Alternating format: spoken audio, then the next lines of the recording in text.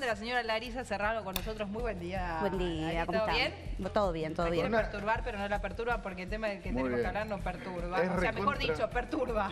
¿no? Pero perturba en Totalmente. serio. No nos podemos distender. Claro. Una historia tremenda. A ver, esto es en Santa Cruz. Uno dice Santa Cruz otra vez.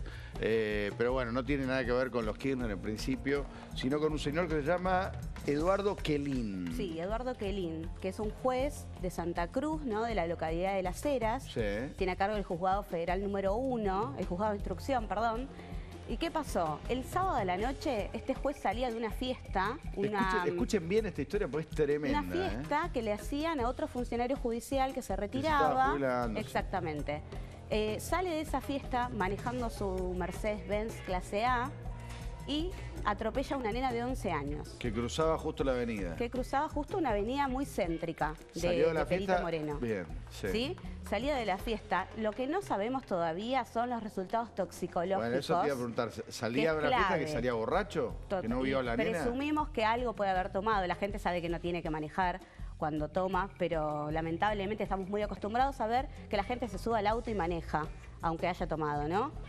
Atropella a esta nena, llega la policía, la policía traslada a la nena al hospital, la nena tiene fracturas y pronóstico reservado por Sí. ahora. ¿Qué dicen los médicos? Que está fuera de peligro, pero que no descartan que haya alguna complicación, por eso no, no dan un pronóstico tan alentador. ¿Qué pasa con la documentación que presenta este hombre Bueno, al eh, momento de ser detenido esa es por una la clave. ¿Por qué? Porque no tenía el registro encima cuando estaba manejando. Justo no tenía el juez. registro. Pero tuvo mucha suerte porque la causa, ¿dónde cayó? ¿Dónde? En el juzgado del doctor Kelin. Pero esto es... En eh, su propio En juzgado. el Digamos, propio juzgado que estaba a cargo a de la sorteo, secretaria, claro, al, em, la secretaria Ormaechea, Sí. que es la que lo estaba subrogando a él en ese juzgado, cae ahí la causa y él no tuvo que pasar por ese trámite que pasa todo el mundo cuando, cuando choca o atropella a alguien, que le demoran el auto en la comisaría, ¿no? Bueno, no tuvo que hacer ese trámite porque el auto se lo liberaron minutos después ¿Pero no le hicieron pericia? por orden de la secretaria. No le hicieron las pericias accidentológicas que tienen que hacer, no se las hicieron. Las pericias de- toxicológicas sí. Sí, porque cuando llevan a la niña al hospital, a él le sacan sangre para hacerle el análisis toxicológico y ver si tenía alcohol en sangre, ¿no? En teoría, si no manipulan, porque a Claro. este ritmo, la verdad, como Exactamente. como viene el caso... No, bueno, aparte tiende a- eh, partamos de la base que no tenía registro. No tenía el registro, conducir, con lo no, cual el auto... pero cuando lo demoraron preventivamente, ahí sí presentó el registro, así que suponemos que alguien le acercó el registro desde su casa o No, lo algún que, lo, que, conocido. lo que parece totalmente delirante es que no le hayan retenido el auto para hacerlo... Totalmente, las pericias que hay que hacer. Fotos, tomar medidas, eh, para, para ver Totalmente. cómo fue el accidente, para Eso- reconstruirlo. Que, Totalmente. que le liberan el auto inmediatamente cuando no tenía registro al momento de ser detenido, que la causa cae en su juzgado Bueno, y eso- la dejan eso es una en su locura. juzgado. Y Es una bueno, cosa y insólita. todavía, y el juzgado todavía la tiene en sus manos, porque podría haber caído en ese juzgado y el juzgado decir, no, no nos vamos a hacer cargo de esta causa, que pase a otro, y Sí. todavía la tienen ellos. ¿Y qué pasa? ¿Quién es el que tiene que decir, no, en este juzgado no puede recaer? Y va por sorteo, va por sorteo. No, está bien. Pero si ellos Mismo dicen, se tiene que excusar. Claro, Pero si si, no ellos- se acusa porque el involucrado es Bueno, parte, no, no fiscal la tiene que procuración pedir, no tiene que, Claro. tiene que decir no. se lo tiene que Esto sacar. tiene que la salir de fiscalía este tiene que juzgado. pedir. Igual esto es un juicio político directo. Bueno, eso es lo que ayer estaban hablando ahí en la zona, de qué raro que no salieron todavía algunos representantes eh, políticos de Santa Cruz a pedir el juicio político.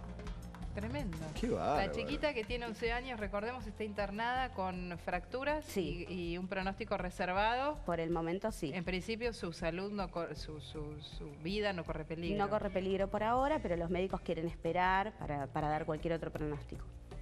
Qué bárbaro. Esto fue ahí por en la zona de Perito Moreno. Perito Moreno, exactamente. Es En una zona muy céntrica, donde la Sí, la estaba ciudad, cruzando, en la ciudad vinculada al glaciar, ¿no es cierto? Exactamente. Es una ciudad de, la, de laburantes, de, de ahí del- del- de la Patagonia.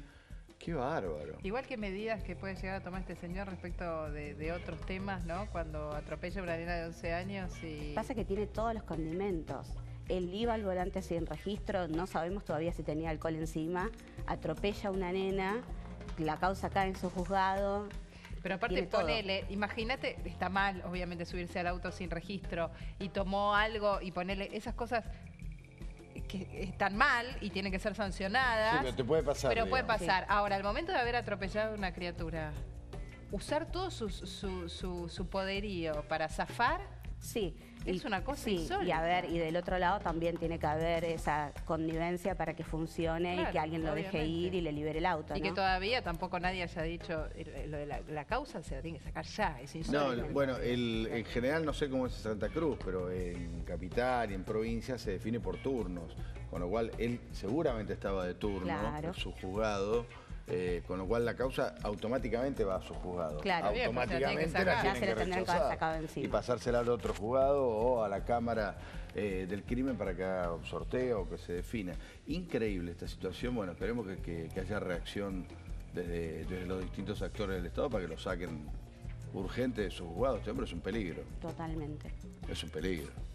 Bueno, y que se recupere la chica, ¿no? Sí, Qué sobre todo. Bueno, vamos a un cortecito. Eh, ¿Volvés después o ya, te, te- ya estás liberada? No sé, queda a Siempre está. disposición. A Ustedes me pueden disposición. llamar. Siempre está. A Si necesitan, me disposición, pueden queda A muy llamar. bien, disposición así nos nuestra, gusta. no es Tiusito y Tommy.